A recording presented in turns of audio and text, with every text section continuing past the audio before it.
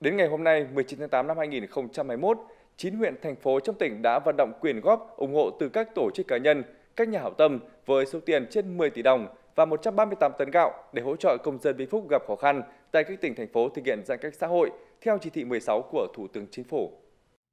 Tổng hợp đến thời điểm này, toàn tỉnh đã thực hiện hỗ trợ 1 tỷ 327 triệu đồng cho 1.291 công dân đang gặp khó khăn tại các tỉnh, thành phố thực hiện giãn cách xã hội.